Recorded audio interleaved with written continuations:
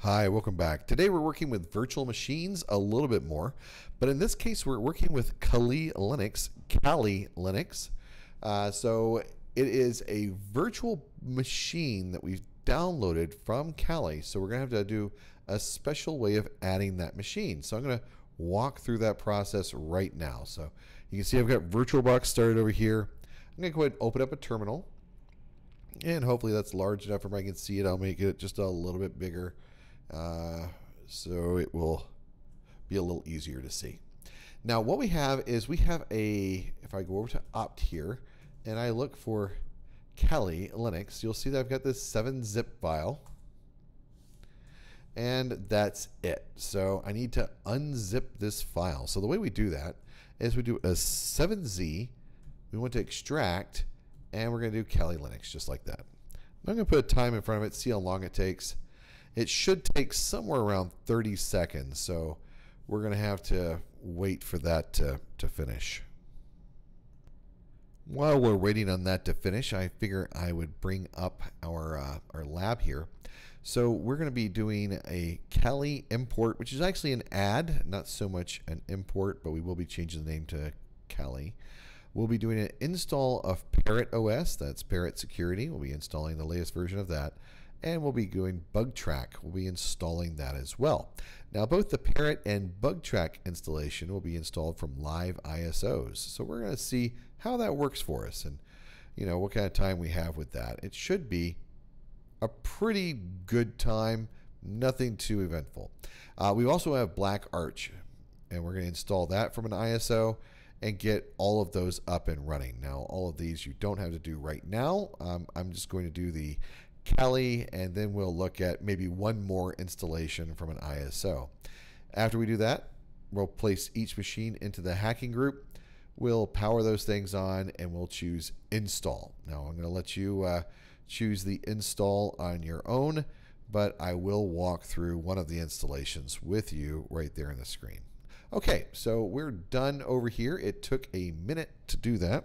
Now I'm going to move this Kali folder that it created and I'm going to move that over to my VirtualBox directory. So VirtualBox, I'm going to call it Kali, like that. So you see, click just like that. What I did is I moved this entire directory over to that. And if I go over here and I do an LL, you can see that we've got the same contents inside of there. Now I'll go over here and I'll choose add. And over here we got the my name with VirtualBox, and we get Kali, and I'll use open right there, open, and ta-da, there it is. It's got all of its settings already set. That's one of the advantages of downloading this uh, pre-made machine. And also in the description, you can see the username, password, or Kali. Not that root toor from the past, but Kali now. And we can uh, just power that on if we wanted to. We could just start this thing up and it should start right up without any problem for us. So just like that. And it seems to start without a problem. All right, while that's starting, well, actually, it's going pretty fast. So I guess we'll just wait. All right, Kelly, Kali. There we go. Now this is one of the first distributions we're going to look at for hacking. Uh, this is not the only security centric or hacking distribution out there. There are a number of those. Uh, in fact, I bet they have Recon NG in here.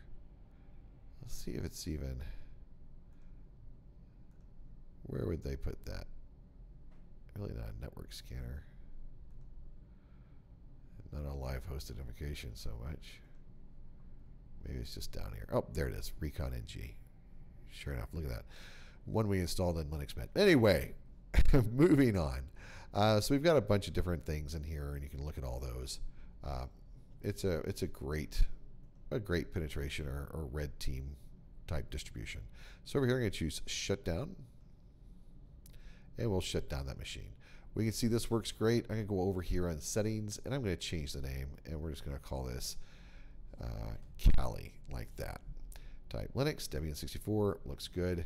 Over here, bidirectional, that's set. Super, we have two processors. Yep. And 2 gig of RAM, perfect. Display has full RAM over there. The storage is good. Audio, Ethernet. In fact, everything is set properly. So we've got that machine going. Now for the next machine, we're going to click New. So we're going to install a new machine here. We'll call it Parrot. The type there, we'll go ahead and choose Linux. And we'll say, I believe we downloaded the Ubuntu based 64 bit. So we'll choose that. So next, how much RAM? We want to choose 2048. That's 2 gig of RAM. We're going to create a virtual disk now. So we'll choose create. VDI is correct. Dynamically allocated. Absolutely choose that. Dynamically allocated will only use the space required. So if you make a 128 gig disk and you only use two of it, then it only takes up 2 gig on your hard drive. It does not take up all 128 gig. Now, why would you not always choose dynamically allocated? Well, if you're using these on a workstation, you probably would. Uh, you would probably always choose dynamically allocated on a, on a workstation environment and a lab environment. Absolutely. Where you wouldn't is if you are doing some type of really high throughput for disk IOs then you would want a fixed size and you'd want that thing to be all fixed. Or if you're very concerned about running out of space on the the uh, the disk where we have it held, just go ahead and use that fixed size so you know how much space you always have on that disk. But we're going to choose dynamically allocated. Next, over there, that 10 gig, we're going to make that 48 gig and create. Remember, it's only going to use the space that it needs. So it's not going to go off, off and, and use a lot of extra space. Couple of the settings we can look at here. If we go to settings, we can go to advanced and then we can make bi-directional clipboard and drag and drop a thing and then go to description and I believe the username in Parrot OS is user and the password is toor. So right there, user and toor. Popping down the system, we can see we have choices here. We want to make it two CPUs. So we'll go over and select two right there. On the motherboard options, we really don't need a floppy drive on there, so we can disconnect that. On the display, video memory, we want to select all the way over for video memory and make sure we've got as much as possible dedicated to this machine. And that just gives you a little better experience on the desktop. So the storage, this is where we're going to insert our ISO. So we'll come back to that in just a second. On the audio, enabling audio is just fine. It's going to feed back through your speakers. And if anything does happen inside the virtual machine, you will be able to hear it. Now, in this case, we are selecting NAT. Now, when we get started and when we start attacking our victim machines, with our um, our penetration or red team machines or attacker machines, we are going to be using NAT network, but we'll also be using host only. So we're going to have both NAT network and host only selected. Right now, we're not going to do that. We uh, we are going to go ahead and select NAT network because there's no reason not to. So we'll select NAT network on there. And uh, NAT network comes up. If it doesn't come up, you can go through and you can select the NAT network. Now on promiscuous mode, we're going to say yes, allow all. So certainly allow that to be promiscuous mode or whatever it might be. Serial ports. Oh, what is promiscuous mode? Promiscuous mode means it will receive traffic even not destined for that interface. It'll receive traffic destined for any system, even not that system. So uh, VirtualBox will not deny traffic to this machine based on the MAC address. The serial ports over here, we're not going to be using serial ports, so enable that. Now USB, we are not going to be worrying about USBs right now, so we're not going to worry about selecting a USB there. But if you wanted some good speed, you can select USB 3.0 we do have the extensions for that. Shared folders, we're not using those right now on this machine, so we don't have to worry about selecting shared folders. And the user interface, we're going to leave that the way it is. So let's go back to storage. And on storage, we're going to select uh, right over here for the CD-ROM. I guess over here. I do have a solid state drive. If you are using a solid state drive, which if you're in my lab, you are. So please go ahead and choose solid state drive there. So go ahead and select that. But over here on the empty, uh, this is the CD-ROM. We're going to select from the CD-ROM using this icon right there. So when you select that uh, navigation, we're going to go over to Opt and select Parrot Security right there and choose Open. So once we get that open, we've got the Parrot Security 501 AMD64 and our drive created and everything else. We'll choose OK. And now we're going to power on our Parrot installation.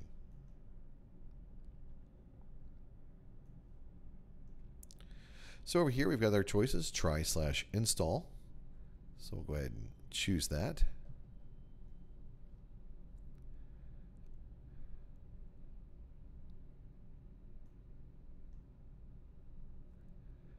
Give it a second to get started. Okay, it started right up. Now, on this this machine, we're going to uh, work a little bit differently than we did on the Kali machine.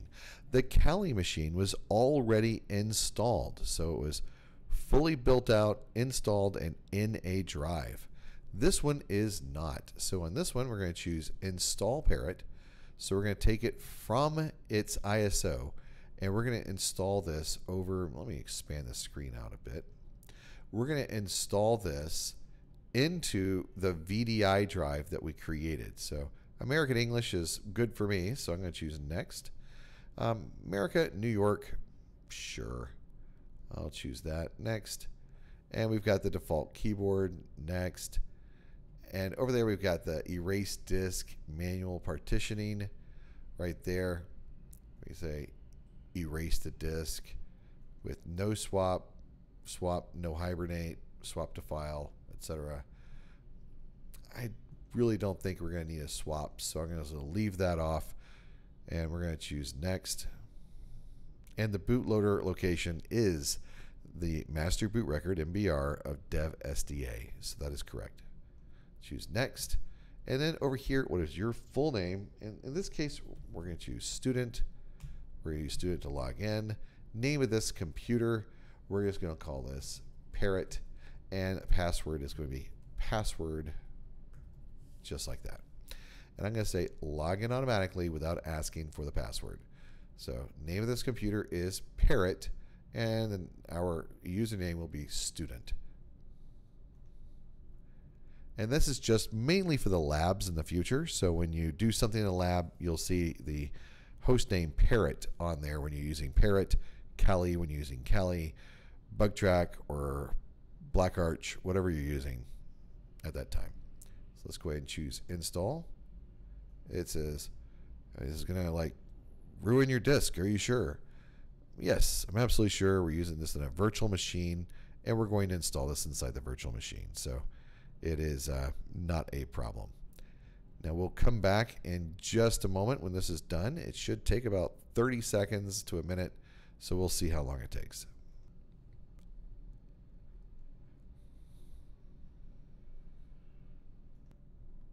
While we're waiting for Parrot OS right here to finish its installation, let's go ahead and create the machine for Black Arch. So we're going to go over here and hit in these machines over there. We're just going to click New, and we're going to call this Black Arch.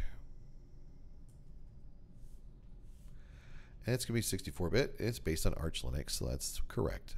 So next, we'll give this 2 gig of RAM, next. And we may want to increase this to 4 gig later on, but we're going to just choose the 2 gig right now. Well, maybe I have enough RAM to spare. I'll go ahead and choose 4 gig. So you can see we chose 4096 there for 4 gig. And that gives you an option there to see what it looks like. Now we're going to create a virtual hard disk. Remember the VDI and dynamically allocated. Those are default options. And over here, we're going to make it 48 gig. So we're going to create. Now this machine comes up. Let's go to the settings. And once again, we're going to choose the shared clipboard. We need to put in our username and password there. Um, over here, we're going to disable the floppy, increase to suit two CPUs. On the display, take our video memory all the way up. The storage, we'll come back to that. NAT, we're going to choose NAT network on here and allow all for the promiscuous. And then back over here, storage. Let's go ahead and select this, choose a disk file, and we're going to choose the Parrot security right there.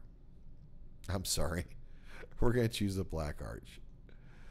Let's go down. Black arch. There we go. And click. There we go. Now we've got it. So let's go ahead and choose start on this machine. If you can, if you've got the, the cycles and the RAM, go ahead and start those machines up. Now Black Arch comes up right there. It's got the full ISO, boot existing, hardware information, etc. So we're going to say, yeah, yeah, go ahead. Do that full ISO.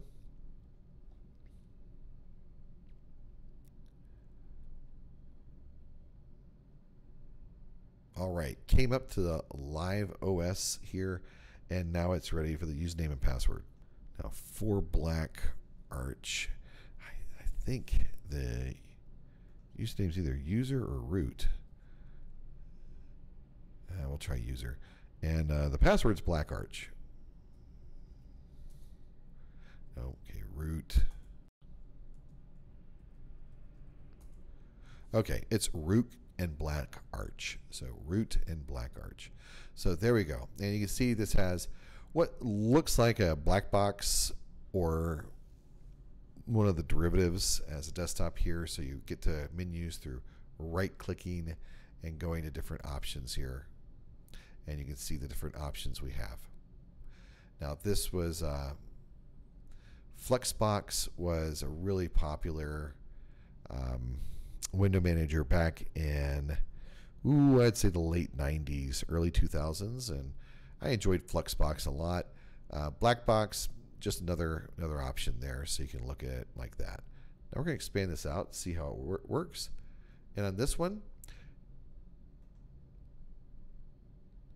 we can look at all kinds of options, and there are a lot of them. So we have a lot of options, and you can get to them right here through right click. Oh, they're using Fluxbox. Oh, that's great.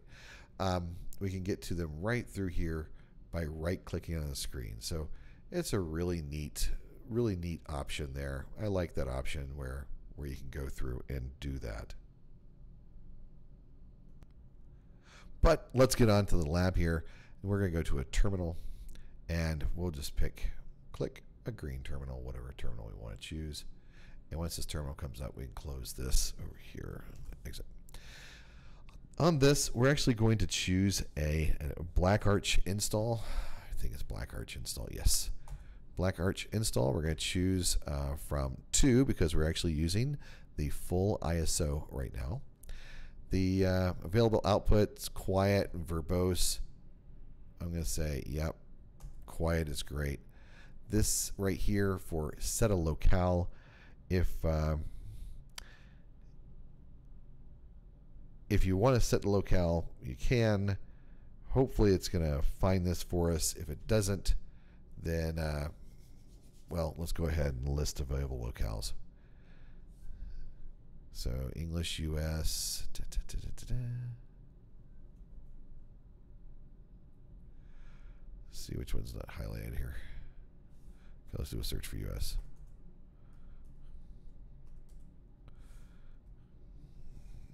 Next. There. It isn't highlighted. So this one right here, this UTF-8, is already selected. So that's already option. It says locale, yes, indeed. And key map, make a choice. US, see if that doesn't. All right, fine. US, done. Now the host host name here, we're gonna make this Black Arch, just like we make the others, whatever the distribution name is. And we're gonna yeah, over there for SDA, we are gonna choose SDA and install Black Arch Linux with Windows Other OS. And I'm gonna say uh, no. It's gonna be by itself inside of a virtual machine. Create partitions cfdisk, root, and boot optional swap. We can go ahead and do that. We can say no. I would highly recommend yes, unless you know what you're doing. And so we're going to go through and go ahead and select Y for that. Let's start with an in memory zero partition table. Yeah, sure, doesn't matter. Um, over here, I'm going to choose DOS and not the GUID partition table, but the old MS DOS MBR. So we're going to choose that. So the free space, we can go through and create a, uh, a couple of partitions here and set up the machine just like you would in the past. And that way it will be, you know, set up like we would set up Linux a number of years ago. So at very least, we'll need to boot the computer and have a root partition. We used to have a boot floppy and a root floppy. So here we'll go ahead and choose new, new partition size. We're going to say, I don't know, 500 meg, 512 meg. There you go. Primary. And then over here for free space, new. That looks good. Primary. And we're good to go. Oh, before we do that, you make this bootable. Bootable. you notice that little boot flag there was not set. So that would be a bad thing. Um, so we do need to do that. So over there, we're going to go ahead and uh, choose write and quit. There we go. Write. Are you sure you want write? Yes, we do. All right. And we should be able to quit now and pop on out.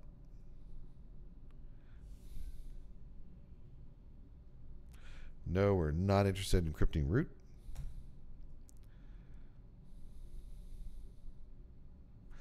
Okay, it's asking, it looks like what is the boot partition? We can type dev, and it is SDA1. That is the boot partition. ext4 looks good. Dev SDA2 is the root partition. And default is good with that. And I'm going to leave that empty right there for no swap partition. Say yes. Are you sure? yes, no crying afterwards. That's okay. If it doesn't work, just do it again. You're in a virtual machine. You'll be totally fine. All right. So there you go. Um, over here, grab a coffee and pop some shells. Yeah, kind of funny. All right. So it's going to go through and do its thing and get in, get all installed. We're going to pop back over here to Parrot, see how that's done. Okay, good. It's done. So we're going to choose reboot on this machine.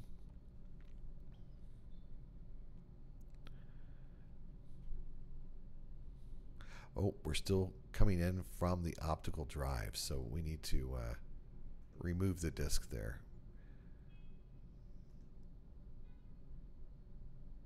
So let's reset. Yes, reset. Make sure that. There we go. So now it's going to boot to our installed version of Parrot.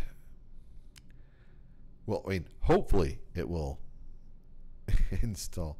What does this black arch say over here? Installing the backdoors to, to root. That'd be great. uh, the sense of humor. Uh, hackers, hackers are fantastic. They're just all right. Where we at? Okay, so there we got student and password. We're gonna log in there, and now we've got our hopefully fully functional uh, version of Parrot OS running right here. Games. Well, look at that. So we got pin testing bunch of tools that are often used there. Uh, information gathering tools. Well, let's see if they've got Recon. Yeah, there it is, Recon NG. It's in the right place. Uh, vulnerability analysis, some stuff there, web application analysis, exploitation tools, etc. Now, of the tools we'll be using, Parrot is probably the most user friendly. So it is uh, very well designed. I, I like Parrot a lot. Um, next would be Kali and then Black Arch, but we haven't actually pulled up Bugtraq yet. So if we look at Bugtraq, you may disagree. So go ahead and install Bugtraq, same way we've done these. Um, if you need to look up anything, just go Google it. Say, hey, how do I install Bugtraq, right? And follow the same. Let's go over here to applications. Follow the same process that we did with our same settings um, that you saw us use when we built these machines. So over there, you can see that now I logged as root. So it's root at parrot. And uh, this this terminal right here, it's a fantastic design. I use a lot of the Parrot terminal design in my terminal, which we'll be installing a little bit later on. Be downloading my bash, my bash settings a little bit later on. I hope that you found this useful. It's a long lesson. It's got a lot going on, but in any case, I hope that it was useful, and I look forward to talking to you again in the future.